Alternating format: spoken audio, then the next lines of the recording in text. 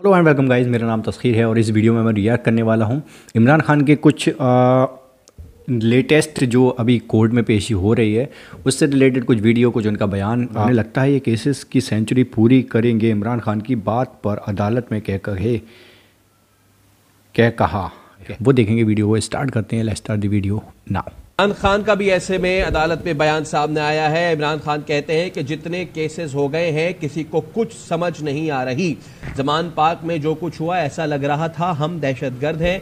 हम आपका शुक्रिया अदा करते हैं क्योंकि आपने मामले को देखा।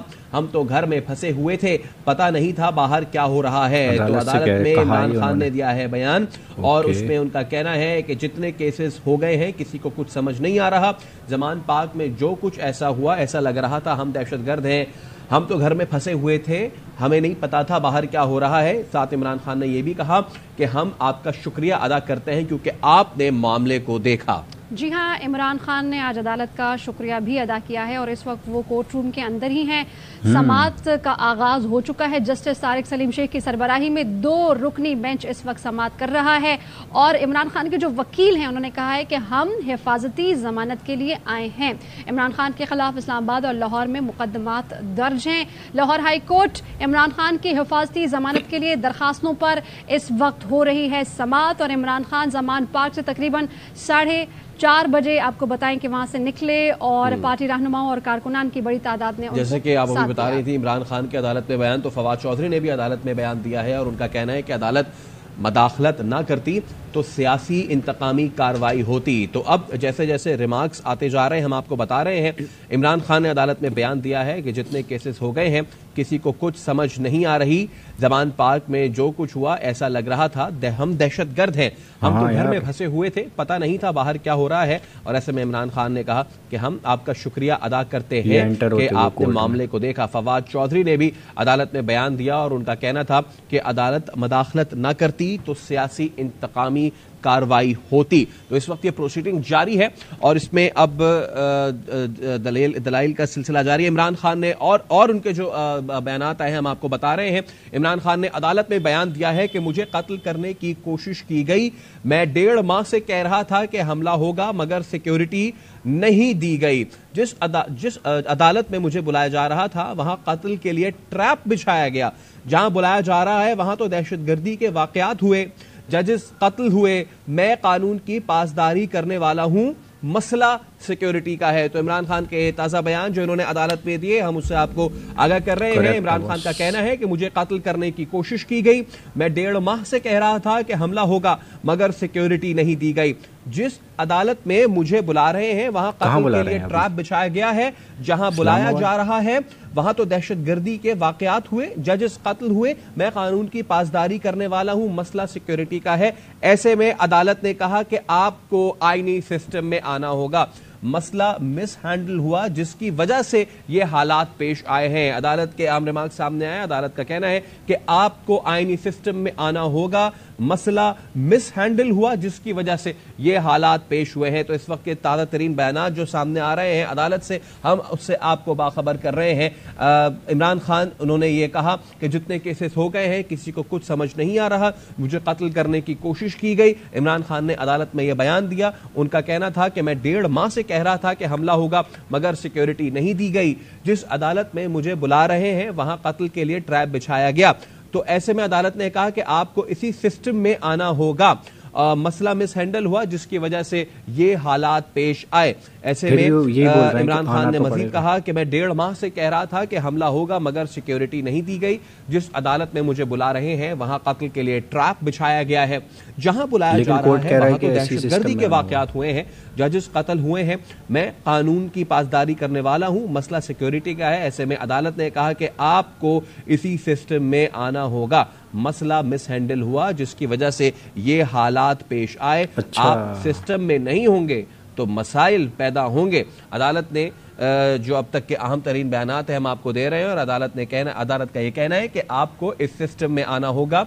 मसला मिस हैंडल हुआ जिसकी वजह से ये हालात पेश आए। आप सिस्टम में नहीं होंगे तो मसाइल पैदा होंगे। आपको इसी सिस्टम में आना होगा। तो अब तक के जो तमाम तर रिमार्क्स आए हैं हम मतलब आगाह कर रहे हैं और इमरान खान के जो इस वक्त बयानात हैं, वो सामने आ रहे हैं कि मुझे कत्ल करने की कोशिश की गई। इमरान खान ने अदालत में ये बयान दिया। उनका ये भी कहना था कि मैं डेढ़ माह से कह रहा था कि हमला होगा, मगर सिक्योरिटी नहीं दी गई। जिस अदालत में मुझे बुला रहे हैं, वहाँ कत्ल के लिए ट्रैप बिछाया गया। जहाँ बुलाया जा रहा है, वहाँ तो दहशत गर्दी के वाकयात हुए, जजेस कत्ल हुए। मैं कानून की पासदारी करने वाला हूँ। ऐसे में अदालत ने कहा कि आपको इसी सिस्टम में आना होगा। यह मसला मिस हैंडल हुआ, जिसकी वजह से यह हालात पेश आए। आप सिस्टम में नहीं होंगे तो मसाइल पैदा होंगे। अब तक की तमाम तर प्रोसीडिंग्स का अहवाल हमने आपको बताया। उस वक्त से कि जिस वक्त इमरान खान जमान पार्क से निकले हैं, यार भाई आपको मुसलसल आगाह रखे हुए हैं और इमरान खान यहाँ पहुँचे हैं और पहुँचने के बाद अब यहाँ पे तमाम तर प्रोसीडिंग्स हैं, उनका हम आपको अहवाल बता रहे हैं। अदालत में इमरान खान के खिलाफ मुकदमात का रिकॉर्ड पेश किया गया है और इमरान खान के खिलाफ चौरानवे मुकदमात दर्ज है इस रिपोर्ट में यह कहना है।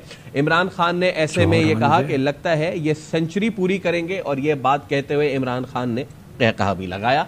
तो इस वक्त का इस वक्त का सबसे अहम हमको आप, आपको बयान बता रहे हैं अदालत में इमरान खान के खिलाफ मुकदमात का रिकॉर्ड पेश। इमरान खान के खिलाफ चौरानवे मुकदमात दर्ज हैं इस रिपोर्ट का ऐसा कहना है। और ऐसे में इमरान खान ने यह रिमार्क दिया कि लगता है ये सेंचुरी पूरी करेंगे।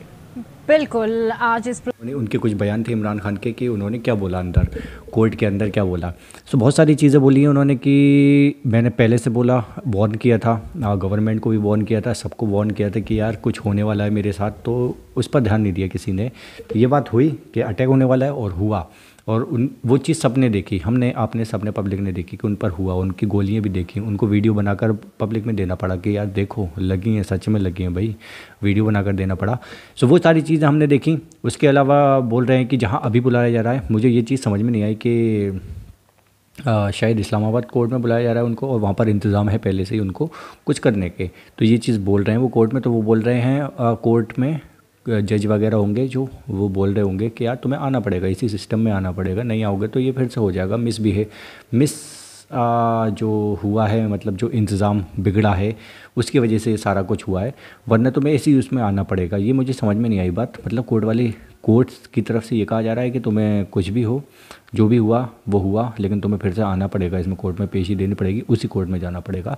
तो ये चीज़ मुझे समझ में नहीं आई, क्यों कह रहे हैं ऐसा, अगर कह रहे हैं तो और अगर कुछ और मतलब है इसका तो आप मुझे बताना। लेकिन जो भी है, दोबारा से वहीं पर बुलाया जा रहा है, उन्हें बार बार बुलाया जा रहा है, और जहाँ पर उनको ख़तरा है, वो पहले से बोल रहे हैं। उन्होंने ये चीज़ क्लियर की है कि मुझे पहले से मैंने बोला था तो मुझे सिक्योरिटी नहीं दी गई, लेकिन मुझ पर हमला हुआ। मैंने पहले बोल दिया था कि मुझ पर होने वाला है। मैं अब भी बोल रहा हूँ कि वहाँ पर इंतज़ाम किए गए हैं मेरे ऊपर कुछ आ, मुझे अटैक वटैक करने के। तो अभी मैं पहले बता रहा हूँ फिर भी मुझे वहाँ भेजा जा रहा है कि जाओ पेशी दो पे पेश हो जाओ वहाँ पर जाकर। सो ये सारी चीज़ें वो पहले से ही बॉर्न कर रहे हैं और ये बहुत गंदा खेल है और बहुत गलत चीज़ हो जाएगी, अगर ऐसा कुछ हुआ, फिर कहाँ से? किसी की जान अगर चली गई तो लेकर थोड़ी ना आ जाओगे कहीं से। तुम ज़िंदा थोड़ी ना कर लोगे। ये तो किसी के हाथ में नहीं है। यानी या फिर कुछ होता है या नहीं होता है, वो सारी चीज़ें, वो तो कोर्ट के बाद पता चलेगी। फ़िलहाल एंड करते हैं इस वीडियो को। आप सब्सक्राइब कर लीजिए हमारे चैनल को। मिलते हैं नेक्स्ट वीडियो में। वीडियो शेयर ज़रूर करिएगा। Bye bye signing of